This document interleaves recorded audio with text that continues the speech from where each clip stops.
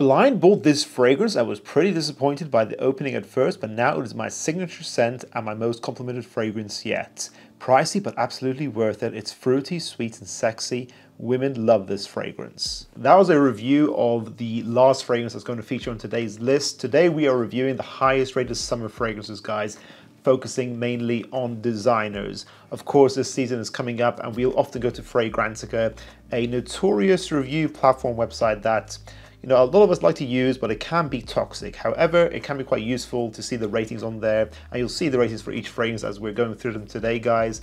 And each of these fragrances have to be seen as a summer fragrance based on the Fragrantica community themselves. So they have that little bar at the top of the uh, page where they show that people agree it's a summertime fragrance for the fragrance to be featured here today. So basically I'm going to see, you know, a lot of these fragrances are hyped up, they got high ratings. Do I agree or disagree? And I'll let you know if I think you should have them or not have them in your collection. So let's begin the video.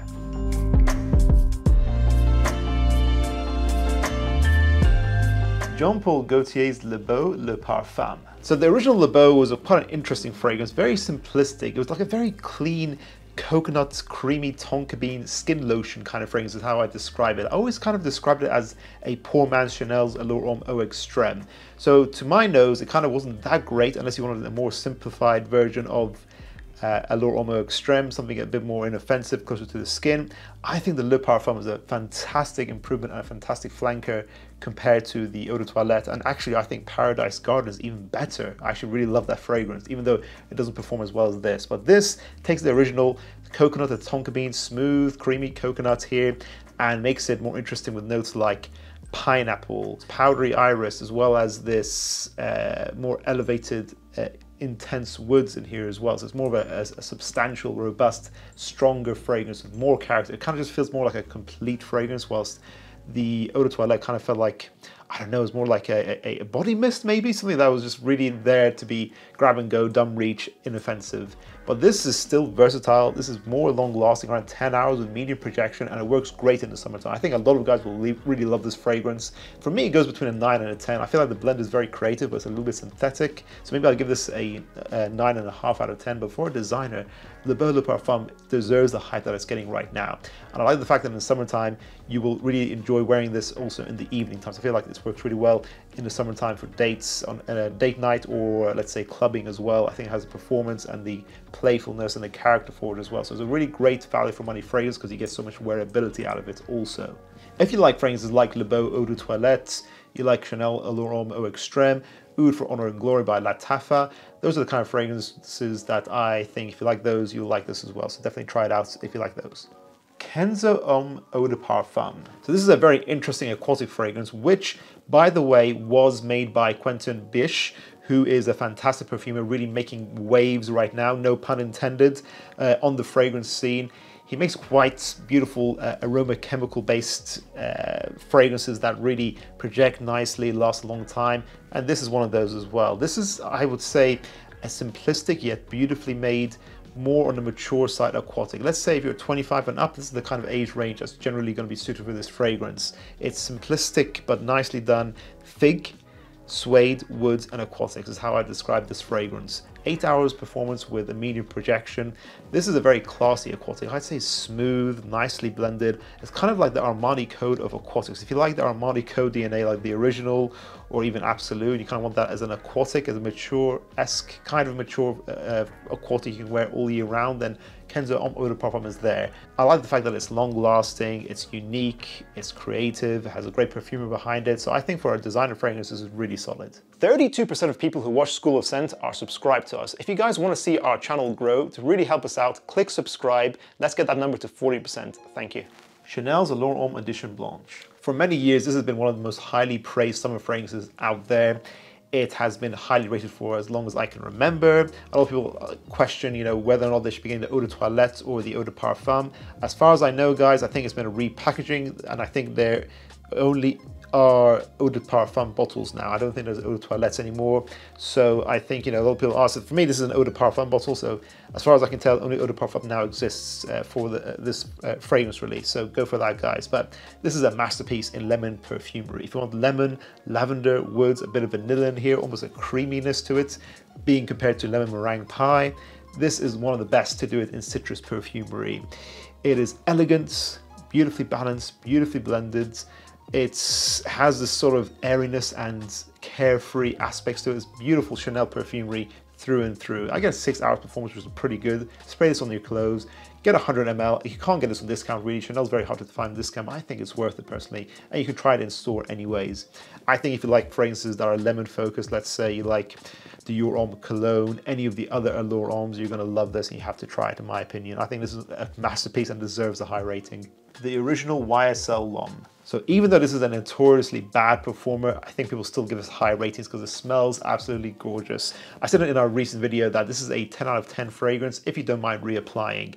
Beautiful, handsome, warm, ginger, woody, amber perfumery is how I describe this. A little bit soapy, professional. I feel like this is the most handsome man in the office would wear this fragrance essentially. If you want compliments, you want a nice sillage that lasts about three to four hours, fair enough. I still think this is a fantastic fragrance. I wouldn't give this a 10 out of 10 because it does have the performance issues, but I do think it's a masterpiece. It's a classic that's probably been gutted by reformulations, unfortunately, like uh, La Nuit de l'Homme. But if you do like La Nuit de l'Homme, you're going to love this fragrance. It shares a very similar DNA, of course. If you enjoy fragrances like Bleu de Chanel, I think you'll like this as well. I just feel like they have a similar vibe. This is more bright and easy to wear in the summertime, definitely. And I think, yeah, I think this is just a very safe, handsome fragrance. If you don't mind performance issues, this is a very safe blind buy in my opinion. Dior Homme Sport 2021. Another fairly safe blind buy, actually. I wouldn't say it's as safe as uh, YSL's L'Homme, and obviously every blind buy has some risk, so buy with your discretion, guys. But I do think Dior Homme Sport 2021 is a very safe, handsome fragrance again, but this one actually performs at least, which is very nice. You can look at the note breakdown. I don't really describe it as a note breakdown describes it exactly. I call this an orange fragrance, even though orange is not listed. I would say this is like an orange woody amber perfume. It has that sharpness, that zing from the elemi as well as the pink pepper in here. So it has this freshness, crisp, brightness. It is a very handsome fragrance once again. I feel like, again, you can wear this, be a handsome man in the office, handsome man at university, and, uh, you know, it works really well. It's a safe fragrance. It lasts eight hours in medium projection, but it works as a versatile most of the year round scent as well. I don't think it works that great in the winter time, but all the other seasons it works great, has great performance, making it good value for money as well, even though it's Dior price tag. I think it's really a, a, great fragrance. I think this is better than the original Dior Homme 2020. I feel like it's very similar to that fragrance, but this feels more complete. I've always said that, guys. I feel like this is the more complete version of Dior Homme 2020. But if you do like Dior Homme 2020, you'll love this fragrance. If you like YSL's L'Homme, you'll love this fragrance as well. If you enjoy uh, orange esque fragrances like uh, Terre d'Hermès, I think you'll enjoy this fragrance also. So if you like woody citrus fragrances that make you smell handsome and masculine, try out Dior Homme Sport 2021 this summertime. And lastly, Lafayette Streets Bond number 9. I wanted to include one niche fragrance in this list, and this is actually the fragrance that the initial review I was reading at the beginning of this video was referring to. So this is sort of like, I would say, La Nuit de l'Homme had a baby with Parfum de Marly's Percival crisp, sweet apple mixed with this woody ambroxan and ambers in here. It is sexy, sweet and seductive, but yet bright and balanced enough to be worn in the summertime as well. You guys saw that on Fragrantica. You know, that's my criteria for this video. And this is a very sexy fragrance. I would say this is blind buy friendly as well if you know you're spending niche price tags for a designer-esque fragrance. It's like that, that uh, review at the beginning said, you will get compliments with this, you will get noticed with this, this will make you smell very sexy, handsome. It's a very easy to love fragrance, but yes, it is designer-esque.